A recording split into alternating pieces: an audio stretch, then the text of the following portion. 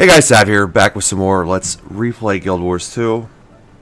Uh, just a short update on myself here. Uh, I've unfortunately taking have taken about a week and a half or so off of recording uh, due to a cold and a cough that I've been dealing with, and as you can tell by my voice, still not 100% over it, uh, but I've fallen, unfortunately, pretty far behind uh, my normal recording schedule here, and I need to catch up.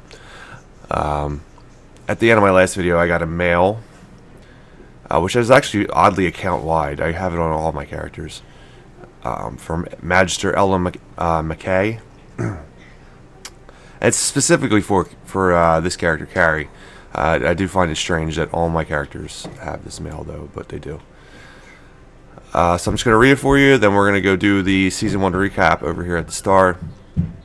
And then we will actually start uh, next video with Season 2 of uh, the Living Story, which kind of makes me regret a little bit that I went ahead and uh, got the Herald specialization. I wasn't intending on doing uh, season two story, but uh, at some point I decided I was going to do it. So it's a little out of order, but it's fine. It's it, it's a good reflection of anybody who's playing for for anybody who's playing today. You can kind of just do any of this stuff in any order that you want. Uh, but anyway, it says uh, history lesson: carry the cat. Uh, we have a saying at the Durmand Priory remember the past so you may shape the future. With that in mind, I've been conducting interviews and collecting historical information on Scar- Scarlet Briar and her war against Tyria starting in 8, 1326 AE. And for the record, I do believe we are now currently in 13. I don't know. It says the final attack was in 1327. I'll ah, keep reading. I prepared a summary of my research for you. It covers the major events of her campaign leading up to the final attack on Lion's Arch in 1327. Meet me in Lion's Arch when you can. I'll be waiting. Sincerely, Magister Ella McKay.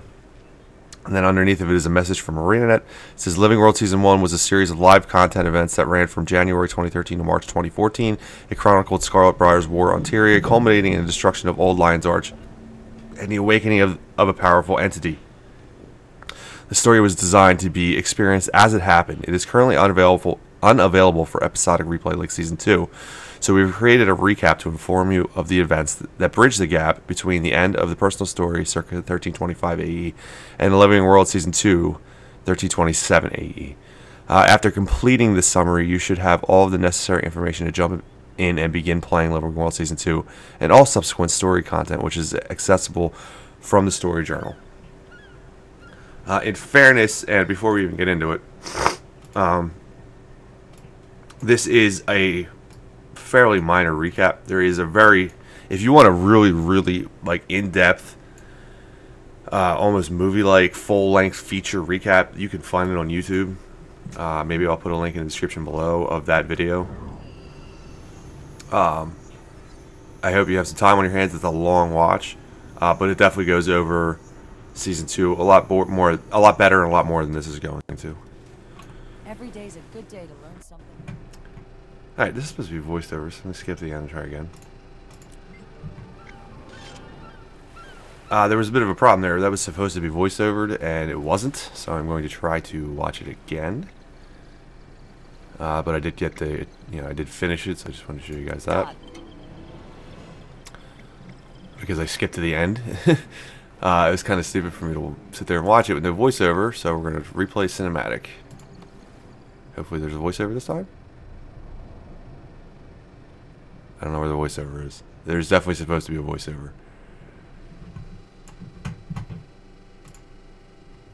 Okay, so this isn't something I would normally do on my channel, but I'm going to go ahead and play the, my original video of the voiceover, since the voiceover doesn't seem to be working, because I think this is at least fairly important uh, for you guys to see.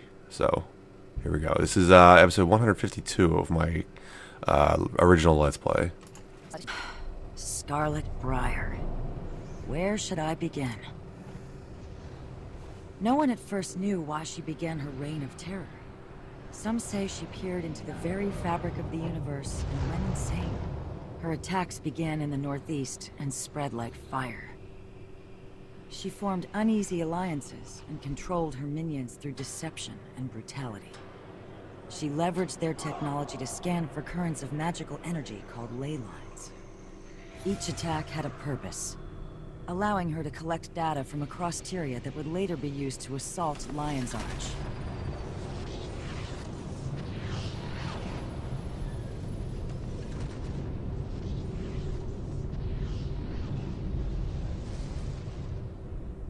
When all hope seemed lost, the heroes of Tyria rose to the task, along with new allies. Bram Eirsson of Kragstead. Rox Whetstone, Gladium. Kasmeer Meade, Mesmer. Marjorie Delacroix, Investigator. And Taimi, Prodigy from Rata Sum. Led by the Pact Commander, they dismantled Scarlet's operations. But while they reclaimed the city at the Battle of Lion's Arch, they would later discover that she had completed her mission, even in death. Scarlet's machine struck the ley line deep beneath Sanctum Harbor, directing its magic far into the Maguma jungle. Changing the course of history.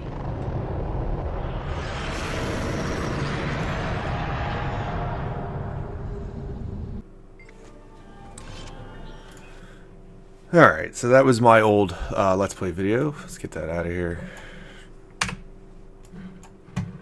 And here we are back live in Guild Wars 2 with Carry the Cat, and we'll go over some of, uh, I believe these are voiced. Marjorie Delacroix is a necromancer from Divinity's Reach. Until recently, she was a member of the Ministry Guard of Divinity's Reach, and was responsible for protecting various Krytan ministers and their staff. She quit that job after witnessing some terrible abuses of power.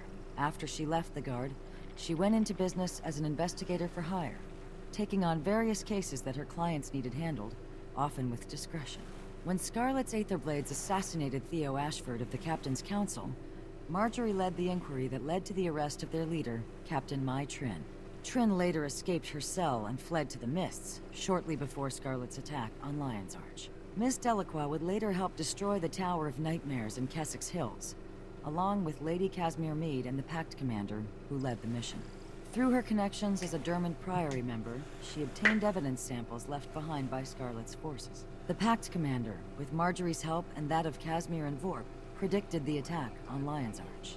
Despite their warnings to the Captain's Council, the city fell, but it was later reclaimed.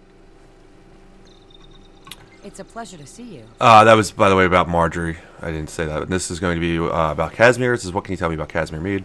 Lady Kasmeer Meade comes from noble stock, but her family has since fallen on hard times. Her gambling brother Kyle put the family deep into debt, forcing her father to liquidate their possessions.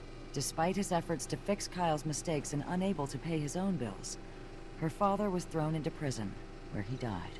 Kasmeer, now forced to work, found employment as an investigator with Marjorie Delacroix. Their combined efforts, with the Pact Commander's help, led to the solving of Theo Ashford's murder during Dragon Bash. Kasmeer was instrumental in uncloaking the Nightmare Tower, as well as in other battles during Scarlet's campaign.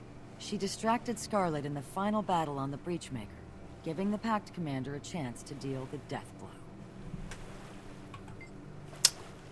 Uh, I'm curious about Rox. Rox is a Gladium. She lost her entire warband in a mining explosion.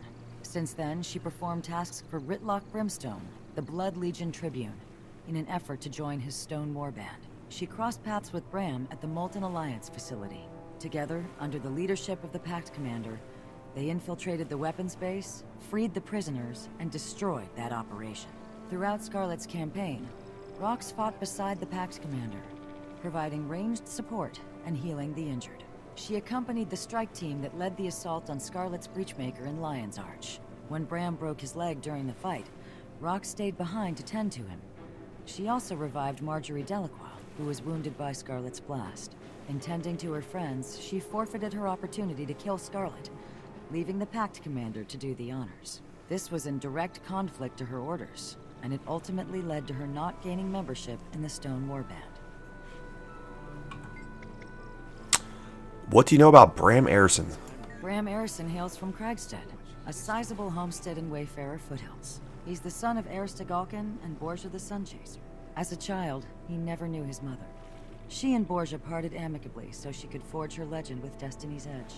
Bram's father, a hero in his own right, agreed to raise Bram to adulthood.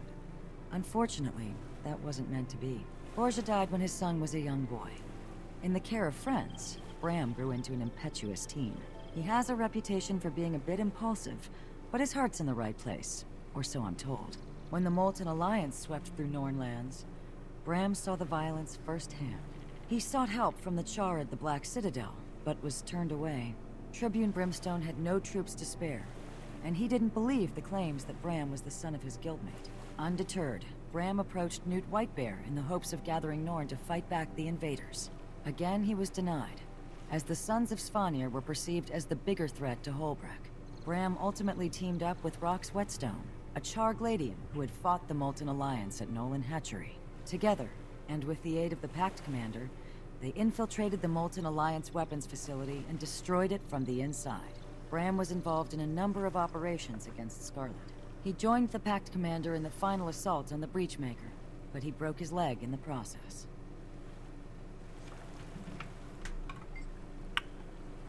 Ah, oh. If you guys know anything about me and my channel, you know I hate Taimi, but here's some details on her. Ah, Taimi. Rarely have I seen so much intellect and attitude crammed into such a tiny body. But don't let her size fool you. Between her feisty attitude and her skill at Golemancy, let's just say you wouldn't want to get on her bad side. She comes from Rata Sum, though her studies have taken her abroad.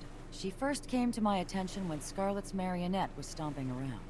Her obsession with Scarlet's research led to some crucial discoveries. When she speaks about magic, especially that of Elder Dragons, you'd best listen. Um, are there any recent occurrences I should be aware of? And this final one is about a lodestone. It used to be a current event. Actually, this might even be a current event.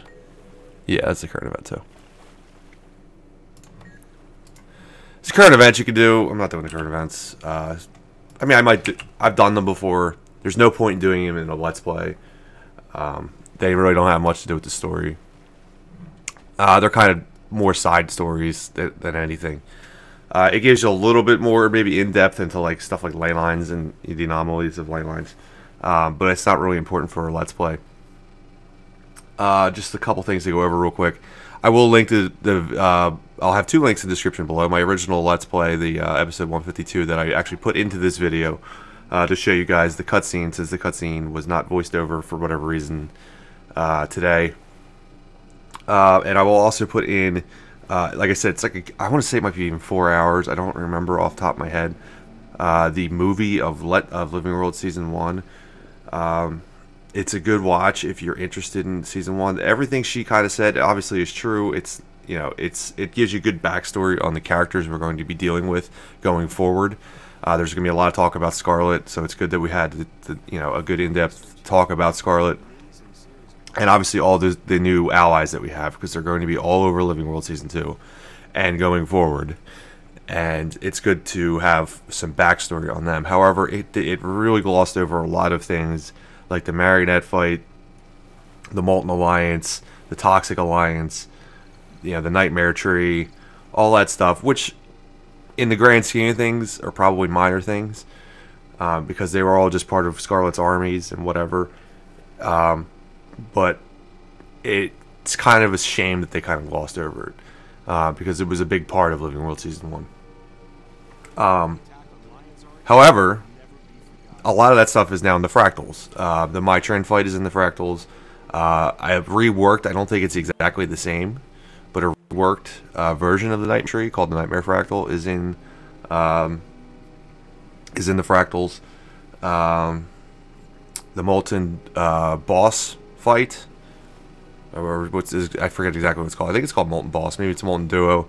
Uh, it takes you it as, since it's been updated by the way. It takes you through even more of the dungeon. It used to be just the boss battle, but now it actually takes you through even more of the dungeon. There's the weapon test facility, which I believe is called Molten. I actually don't even remember what it's called, but there's a weapon test facility fractal, which I believe is actually part of the same dungeon that the uh, Molten Duo was a part of, um, or it might be a separate dungeon. I actually don't know. Um, so there's a lot of stuff in the fractals that you can actually uh, update yourself on Living World Season One with. Uh, but anyway, that's it for this video, guys. We're going to start Living World Season 2 in the next video, and it will be in Brisbane Wildlands, where strange things are happening. And we'll have a mail, which I'll read then. See you guys then. Thanks for watching.